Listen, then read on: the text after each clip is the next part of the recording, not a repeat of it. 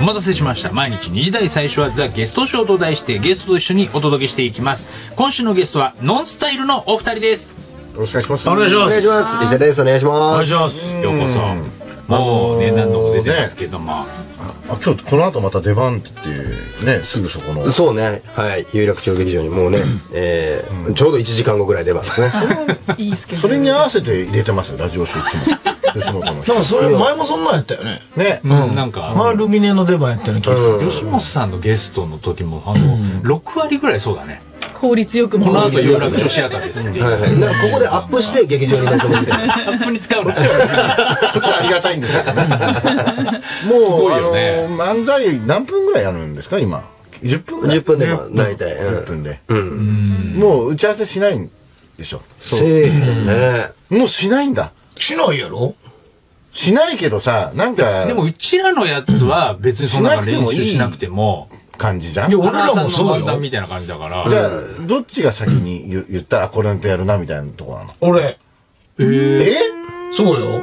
基本我々のネタは俺喋り出しが多いから。じゃそあ、あ、そう。う。だってあの、俺喋り始めのネタも作ってしまうと、ほら、どっちがどうなるみたいになるやんか。そう、打ち合わせせえへんかったら。ちゃんとせなあかんやんか。だから打ち合わせせんとこうと思ったら、井上喋り統一にしてる。あ、そうなんだ。やりたいネタみたいのが自分の中であんの？今日はこれやりたい。いやいやなんか56種類をぐるぐるぐるぐる回してるあ、感じ2023がこの、なんとなく5、6種類ぐらい。そうね。そうそうそう。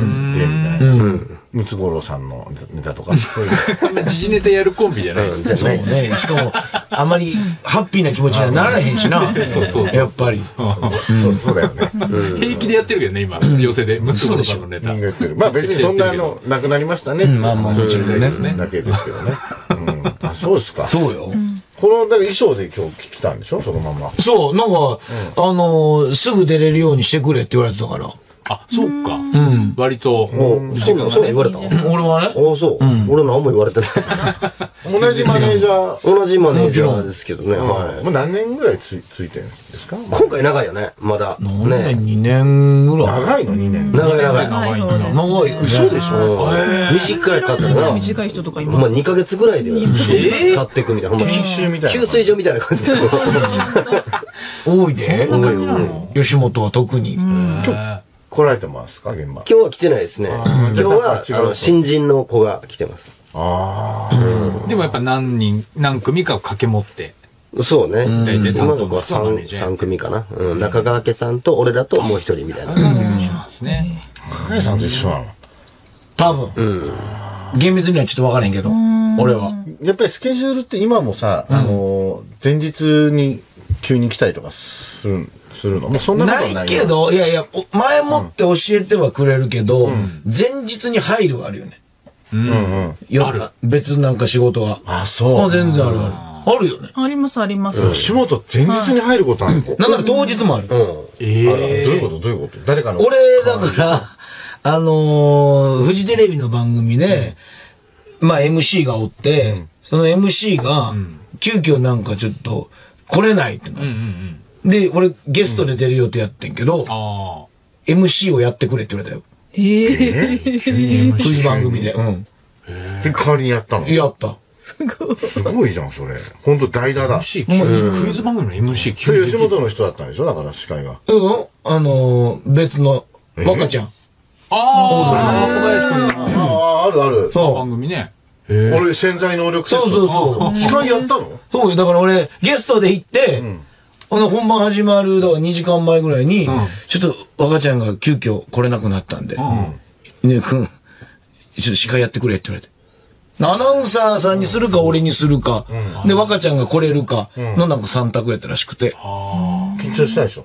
えーまあ緊張というかまあ、なあ、びっくりというかさ、うん。普通にのんびりクイズ答えに行ったら、振る側になったからさ。まあでもあれ、カンペ読むだけだもんね。もう最低なこと言うなよ。あ楽な仕事やな。いや、俺は別にええけど、若林君に謝れ。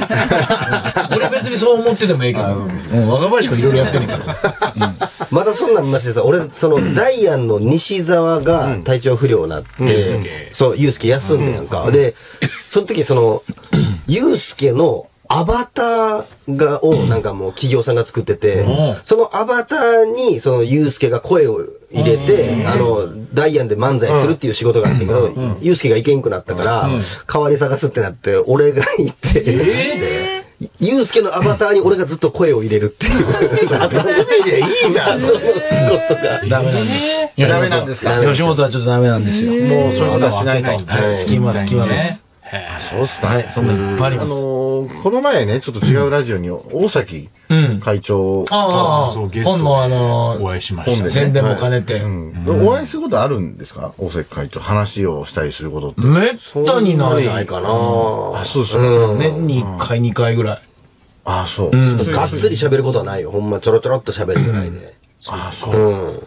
そういう、な、何のノンスタイルぐらいになるともう社長とこう、吉本の今後の話。岡本さんは俺は結構喋るけど、大崎さんはないかな。そうなんだ。どどういうふうに？あ、学校のなんかやってくれとか？そういう。そう言われたりしてたもんね。そうそう。もう学校のやつとか、あの、こ今後の海外事業とか、なんかいろ、いろ、いろんな、海外に向けてのとか、なんかいろいろいろそんな話はしてるよ。すごいね。どんどんなんか大きく。でも、会長の本は読まれたんですか？二人。え？あね、もちろんその。居場所だよ。居場所っていう本あった居場所ね。なんでしょ？かもちろんね。ずっと寂しかった的なね。もう9あもう9回、二人とも9回、9回読んだよ。松本さんが8回読んだ9回読んだ。太田さんが言ったボケと同じ。まあ、被ってくるよね、その辺はね。回数はちょっと被ってくるな、どうしても。あそうですか。忙しいからね。読む時間も。結婚して、結婚したでしょだって。俺はね、もうそんなん、うんぬんよりも、もともとその、文字を読むのが苦手やから。苦手なんだだから漫画を読んでる。眠くなっちゃう。眠くなっちゃでもそういう人っているらしいよ。う。うん、だから、あの、朗読してくれたら聞くよ。あ、じゃあ、あの、オーディオなんかあるじゃないあそうそうねオーディオブックすごい、だからイケメン声優さんがうん朗読してくれたら聞く。音でずっと聞いてる分には。大丈夫。でもだってあの、東野圭吾さんの本あるやんか。あんなんダーって読めてしまうやんか。一年ぐらいカバン入ってるから。なんで？なんで買ったの？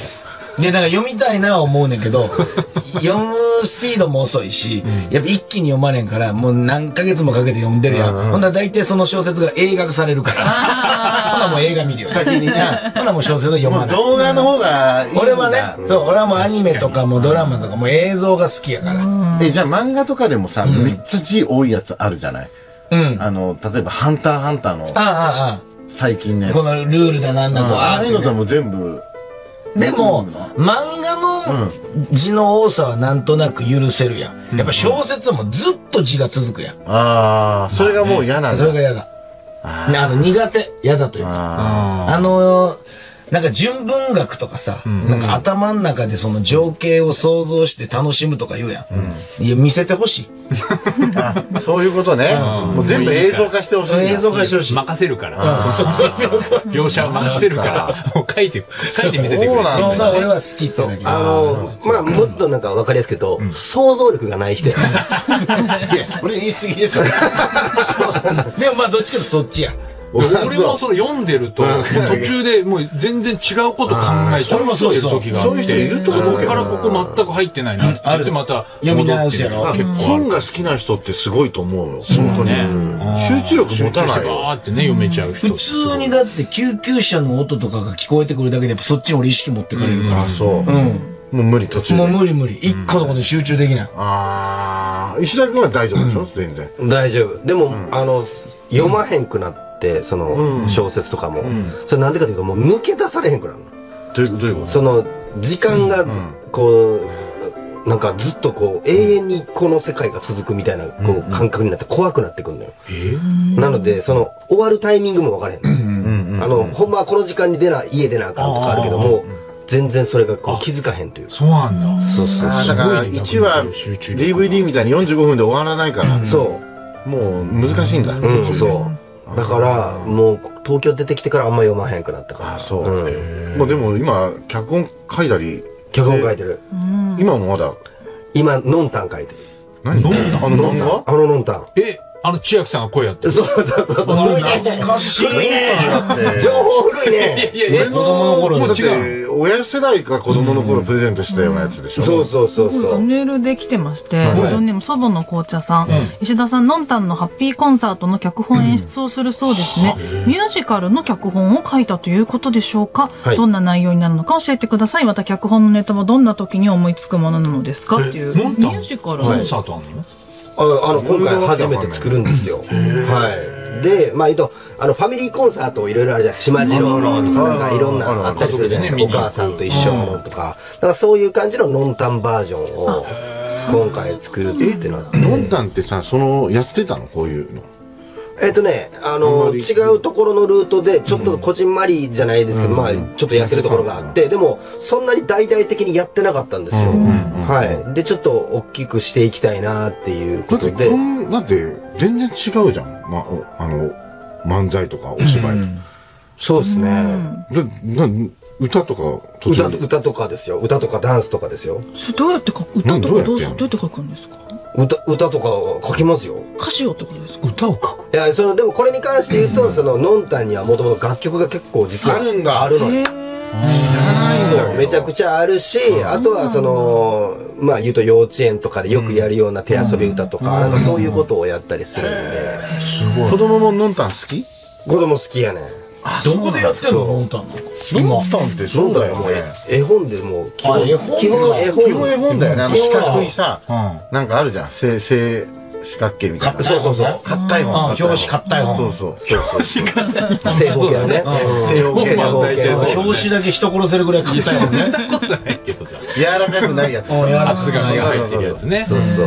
そうえ、千秋さん出んの？千秋さん出えへん。ミュージカルもう千秋さんじゃなくなってんのよ。え、あ、そうなの？声優さん違う人になってて。そうなんだそうそうそう。で、今 3D になってるから、アニメは。のんたんええー知らんわ。そうなんだ。そう。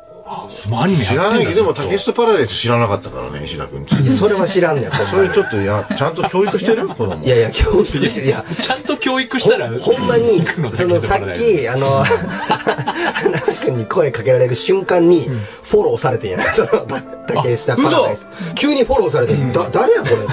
今日出るから。そっかそっかそっ向こうがか。フォローしてくれたんだ。全然知らん人からフォローされて、何やこのタイミングでって絶対子供し見てるはずだよって。今いくつだっけ？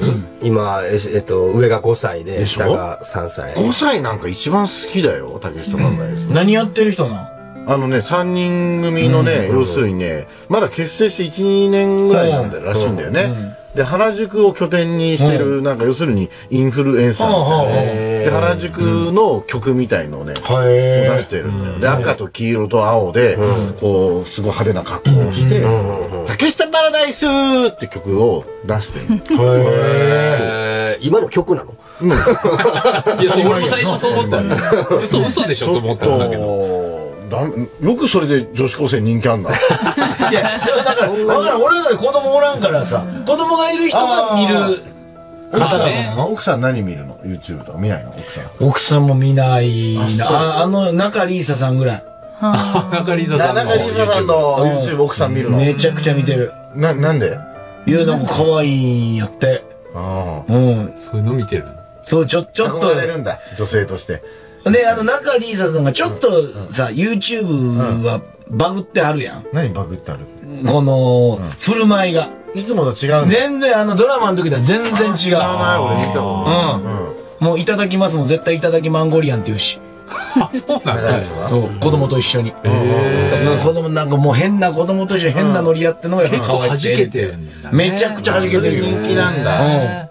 あそれ知らなかったうん。知らん、んあの、子供の上履きみたいなのを、ただこう、洗いながら、もう旦那とか世の中の不平不満を上履きにぶつけまくるとかいう動画。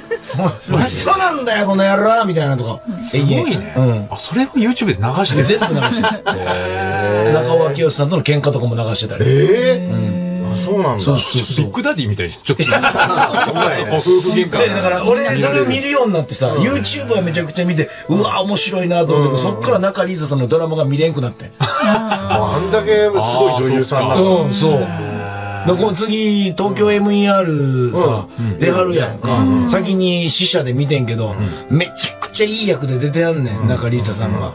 でもやっぱちょっと YouTube がよぎるのよね。うん私生活を知りすぎちゃう。しょうがない僕は想像力が、あの、補ってくれへんから。補ってくれへんそうだからその切り替えができないできへんねん。無理よ。引っ張られるそう。やねん。まあしょうがない同じ人やもん。同じ人。役を演じてるからさ、それは。やっぱ昔から女優さんとかでね、こう年配の方とかで YouTube やってる人ってあんまりいないからね、そうね。見ちゃうんだよね。俺もなんかね、最近ちょっと YouTube ややってるから、あの YouTube のなんか誰かのパロディやろうと思ってんの。で、それずっとちょうどいい人を探してんだけどね、ないんだよね。今やろうとしてるのひろゆきとかをそれ一回やろうとして。ひろゆきってメジャーじゃない、メジャーね。ちょっと違う人で何かいないかなと。今、野々村誠さんのバナナジュース作ってみたいなパロディやろうと思って。野々村誠さんやってんの？YouTube バナナジュース作ってみたいな。バナナジュース作ってみた？それやろうかなと。ミキサーポチだけちゃうん？それ。なんかそんな難しい作業あるかな？で作ってみたってね。うんそういうのなんか、失敗することあんのかな？ないですね。配分間違いなんかある？牛乳とバナナの量。でみやろうとしたらミキサーが持ってないことに気づいたり。ああ、じゃあできへんやんか。うん、来たからさ。うん。そういう、俺だけだからね。まあまあね。まあね。あ、YouTube やってんだっけ？二人とも。うんやってる。コンビでもやってるし、別でもやってる。ああ、そうなんだ。コンビの時は何何やってんの？もういろんな企画考えたりしてコンビも漫才だけ。ええあそうか、ネタだけで。うん、そうそうそ。そうのなたまに何ヶ月かに一回とと撮るんですか？そうそう。あでも YouTube で若い人たちが見てんのかな、ノンノンスタイルの漫才結構。その前どうなんやろあれが多いって聞くで。何？TikTok の切り抜きが切り抜。きなのめちゃくちゃ出てくるって言われる。ああ、で、それでもう本当に一ボケ二ボケぐらいの尺でそうそう言わそう。切り。抜いてね。大量に誰かが切り抜いてくれてるみたいやから、あ、ご自身でやってるんじゃない？俺らはもう全くやってないから。だからどうなんだろうって話だよまあまあね。絶対まあでもそれでね、この知ってもらえるのであればって感じですだって今年の春の最新何高校生のトレンドランキングでも芸人で4位に入ってるんですよ、スタイル。ずーっとだもんね、やっぱやっぱり高校生の人気。賞レースとかにさ、うん。まあ、強いというか、まあ、何度も優勝してるじゃない、今、ザ・セカンドってさ、うん。やってるね。やってんじゃない、まあ、ノースタイルは出れないんだけど、優勝してるから。これはさ、どう、どういう、どうしたら優勝できるのかな？どういう人たちがってね、傾向とか大体、あ、わかんの？その賞レース、それだけ勝ってる人からしたら。いや、分かる。だって、なあ、どんな戦いかも分からへんし、審査基準もまだ分からへんやんか。もうお客さん審査やもんな。お客さん審査なんだよ。まあその、あ、もう決勝も？あ、わかんない。決勝はわかんないけど、ネタ6分とかなっててね。うん。その、なんやろ、その予選はまだ勝ち方とかってなんか分かる気はするけどさ。あそでも、決勝は分からへんでしょ、だって。うんうん。ねえ。これをだからね、ノックアウト方式ってこう1対1でうん。やって、でこう一組ネタやったら点数入れて、うんで、次の組見て点数入れてっていうそうだねルールなんだよね。ロイヤルバトルと一緒やん。オンバトもそっか。そうそうそう。そうだね、ネタ終わるごとにボール入れるもんね。そうそう。あそっか。だから、オンオンエアバトルの場合はトップバッター有利って言われてたよね。今度セカンドはやっぱ高校が有利っていうな。なるほど。でもさ、別に前半見た人より、うん。面白くないと思えば入れないだけの話でしょ？でもなんかあの3点なんだって。ね。3点持っててそうで、だから1回目の、だからその、せ何、先にやったネタ見たら、みんな大体2点を入れるんだって。その、どっちに転んでもいいようんうん。2点入れる。で、次のコンビ、やっぱでも1点はなかなか入れないんじゃないっていうことで、なるほどね。後半がやっぱり有初めから利なんじゃない3点をかっていう入れづらくなっちゃってるってそうことそうそうそう。うん。あその場合のはあるんですか？やっぱり。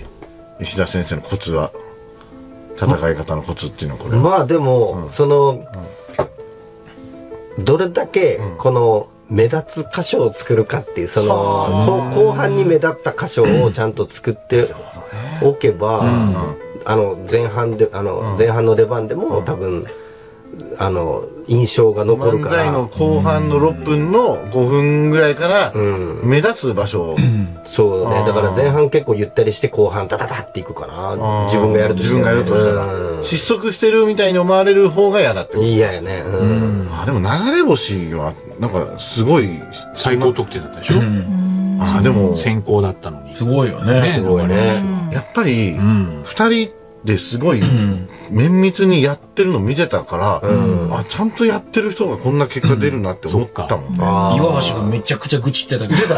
プラスマイナスで優勝候補だった吉本的にはやっぱびっくりしプラました。ね。マイもだから、点数的には、他の対決やったら勝ってた点数やから。そうなんだ。なんで俺らのとこで最高だことんだんねん、クソ流れ星っつってた。岩橋が。シンプルな、シンプルな口ですね。そのままじゃんシンプルな悔し口運が。ちょっと悪かったんだね。そうだよねいやーだこれがさもしねあのじゃあ M1 チャンピオン、もう関係ないと、うん。もう経歴関係ないと、日本で一番面白い漫才師誰なのかっていう大会がもしあるとしたら出る、もう全員出ると。全員。出ろやろ？全員出ろやったら出るよ。うんもう強制なんやったら。だって爆笑問題さんだってこれ迷ったらしいよ。うん最初出るかもって言ってましたね。すごくない？出ようとしてすごいよ。でもセカンドチャンスとかじゃないじゃん、もう。もうね、上がりきってるからな。すごいよな。これはどうなんだろうね。まあでも、どう、でも出たら出たで煙たがれるやろ？煙たがられんわ。まあ煙たがられんねん。枠が一つね。句は言います。そうやねん。すぐ文句言いよんねんだから全 M1 チャンピオンが出るとかやったら、グランドチャンピオン大会ねしな、それはみんな夢見てるそれ見てみたいけどね。グランドチャンピオン大会は M1 しかできないから。グランドチャンピオン大会があったら、誰が優勝すると思う？っていうことやね。?M1 のグランドチャ M1 ンピオン。のグランドチャンピオン大会。誰が優勝なんだろう？順番じゃない？順番かな？と、あとネタの尺にもよるし。全員解散してないでしょ？チャンピオンはね。ね、チャンピオンはね。それがすごいよね。4分ネタやったら若い子が優勝するんちゃああ。今の子たちが最近の。ううん。うん。ああ、4分ね。だったらね。でも、若くないんだよね、最近優勝した人たち。そうだね。年上なんだよね、そうなんだ。まあまあ確かにね。そうだね。うん全然若くウエストウエストランドもマジカル霜降りぐらいから若いおっさんなんだよまあまあ。近しい世代だからな、年齢霜降りがまだほんま優勝した時まだちょっと分かったけどね。そうだね。うん。それがもうみんなおじさんやでもさ、変な話、それって話ないことはないじゃん。M1 だってもう17代ぐらいいるわけじゃん、チャンピオン。いるの。ね。これ20代とかだったらやるかもしんないよ。わかんないけど、グランドチャンピオン大会とか。新助師匠戻ってこないから、その時だけ。審査員誰だねそうだよね。ううん。その時だけ師匠が戻ってきてくれたら、そうだね。震えるけどな。釣りだね。本当だよね。上沼さんと。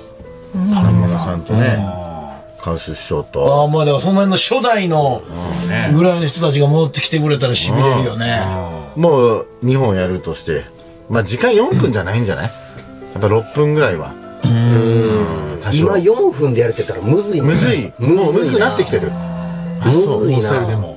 だってもう最近ネタ作るってなってもなんか16分ぐらいが当たり前になっててでそれを削って10分ってにするとかやから16分ってなん、なん、どういうこと ?16 分なの？一つの話で16、7分ぐらいがなんか自分がやりたいノリが一番できんねんそうそうそう。その面白さ優先とかじゃなくてその俺がやりたいノリがやれんのがそれぐらいの尺。ああ、そう。でもその、ね場所によっては15分でとかっていう時もあるでしょ ?20 分でとかっていう。そうそう。いやもう全然ある。でもむしろ16分でやるとこなんかないでしょ？だからツアーだからツアーとかでその単独ラ長めにやってねそうそうそうああ。そっから削って、まあ大体 10, 10分。寄せは10分。寄せ10分。ね。ってなってそれをまた4分にするってなったらもう俺がやりたいこと何もないもん じゃあなかなかグランドチャンピオン大会。ね、見てみたいけどね。さあ、この後もノンスタイルのお二人にはお付き合いいただきます。お願いしますさあ、今日はゲストにノンスタイルのお二人をお招きしております。お願いしますコーナーに参りましょ今日のスポットナイツ。う。こちらゲストの方が今一番気になることをですね、はいえー伺ってますけれども、何かありますか？でしょうかね。え？何でもええの？何がもう何でもいいですよ。ナイツの二人ってさ、めちゃくちゃハマった女子っているの？女子？まあタレントさんとかも含め。ハマったっていうのは？アイドルとか。そうアイドルとか。なんかあんまり女性のあ色が見えへんやん二人とも。好きになったそうそう。アイドルとか。どんな人がタイプなんかも全く分からへんし。あ合コンとかもしてなさそうやし。あ。合いや、コンは普してたけ通にしてたよ。どね。してたけど。そこはしてたんや。あっさり。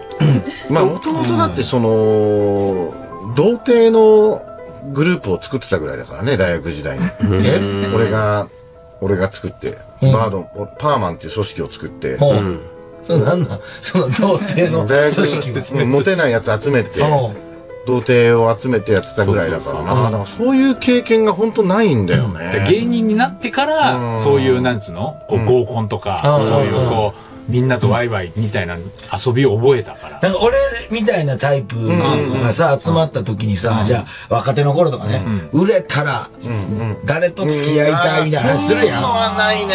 らそんなんを考えた時に、この人っていうのがおんのかなと思って。うん。で、俺はもう中学の時から西田ひかるさんが好きだったから、西田ひかるさんは、どっかで会いたいなって思ってて、初めて会った時には、うん。もうちょっとやっぱりもう感動したね。でそれまで、なんかね、花さんが、あの、レーシック手術をした時に、これいいよっつって、した方がいいよって言われたの全然聞かなかったんだけど、西田ひかるさんに、土屋君レーシック手術した方がいいよって言われて、やろうって思ったの。番組かなんかでね。西田ひかるさんに言われたら、やろうっつって。目の手術、決意したもんね、それでね。やっぱり。ホームラン打つプロ野球選手みたいな感じや。もう、あんたがホームラン打てばた。。この人に言われたらもうっていう。芸人でさ、本当にさ、ま、マジでさ、まじっけなくさ、言ってる人っているの？どういうこと？例えば、よすよく企画でさ、うんうんロンハーとかの企画でさ、うんあの、自分の好きなうん女の人選ぶときに、みんな石原さとみ、あの、長澤まさみ、優香とかうんの、それで話してて、俺だけアウンサンスーチにしてさ、すげえ変な、まあ、そういう変な空気になるやろな。もうそういうのいいからみたいな、なったんだけど、でも普通にそんな、そこまでふざけてるわけじゃないのね。あなんかちょっとそう、なんか、いや、ふちゃんちゃんとざけてる普通に好きなんですね。めちゃくちゃふざけてるよ。女性として尊敬してる。それ納得できへんがな。そうなんか、芸人がなんか長澤まさみさん好きですってあ言うのってさ、なんか嫌なんだよね。ああ、わかる。わかるよ。井上なんかもうまさにそれやもんお前がすごいよねあの今一番ニュースになりそうな人言うもんな。そうそうそう。えー、誰誰今？今誰なんやろ？もう、だから、もう若い頃な、今はそこまでこういうドラマとか見れてないからあれやけど、もうこの人、今好きなタイプ誰ですか？とか、独身の時に聞かれた時は言うてたな。その時、吉岡里帆さんとかさ、今田美桜ちゃんとか言うてたもうな。今、もう一番もう VV っていう人をもう全然言えるんだ。まあ好きやし。単純に。だからそういうの聞いたことないからさ、特に、花君は。なんか言っても嘘くさくなるっていうのもあるよね。いや、アウンサンスーチーの方が嘘くさい。なんでだよ。いやいや、どこにも真実がないよ、それは。そうだね。そういう時、花輪さんは、あの、多分ちゃんと言わない。ちょっとちゃんと言わないボケで返す人やね。まあそれ結構確かにね。芸芸風タイプもあるんだろうな。ザキヤマさんとかもそっちタイプやねんけど、そういう人らって、本当はでも誰かいるはずやと思うねそれを聞きたいんだ。ん。うん。それをね、胸に秘めてる人が。それをなんで今ここで俺が言わなきゃいけないいや、でも何でも聞いてって聞かれたから。発表してもらおうしてほしいんだって。ドラムロールありますか？ドラムロールあったらぜひ。まず、でもその、それ言われても誰だろうってなっちゃうよね。ないか。うん、ないのかな俺、松雪靖子さん。ああ、松雪靖子さん。あ、ああ、いいね。あ、もう決定的にいるんだ、やっぱそういう人が。俺は、うん、そうね。いないドンっていない？っていうか、い、いすぎて、で、出てこないのかもしれない。別に、テレビに映る人みんな綺麗からな。綺麗だって思っちゃうから、うん。そうだね。ね緊張してんの？今、必死になんか他の熟女いないから、あそうなんだアウンサンスーチ熟女で探しちゃう行き過ぎちゃったら、やっぱりそうね。無理なんですよ。もうそれちょっと知りたかったけどな。聞いたかったちょっと無理なんだ残念ね。。あ、まだ、出たら教えて。わ本当に知りたいのかな？知りたいから。本当に？本当のやつ。本当のやつを教えてほしいのよ。ニュースになっちゃうからなでも別にいいじゃない別にいいだろうね。本気とは思わない。別に好きやってだけだからええやんうん。どうこうしようじゃないねんからな。あさあそろそろお別れのお時間ですけどもね、何かお知らせありますか？ライブじゃん。えーネタ収録ライブがはい。5月6日土曜日にあるということで、何ネタ収録ライブ？って。これあの、YouTube 用に、あの、ああ。そうでもお客さんこれなんでも入れて。だからネタ10本ぐらいこう収録して、みたいな。なるほどね。まあすぐ、あの、見に来てもすぐ YouTube で上がるんで別にね、あの、金払い損みたいなライブなんですけど、お金チケッでもト代は生で見たいという方ぜひ生で見たい。ね人日照ホールというところで5月6日、はい。えー開19時演開演でござい10時ます。開演ですはい。ね。はい。はい、わかりました。ということで、今日のゲスト、ノンスタイルのお二人でした。どうもありがとうございました。ありがとうございました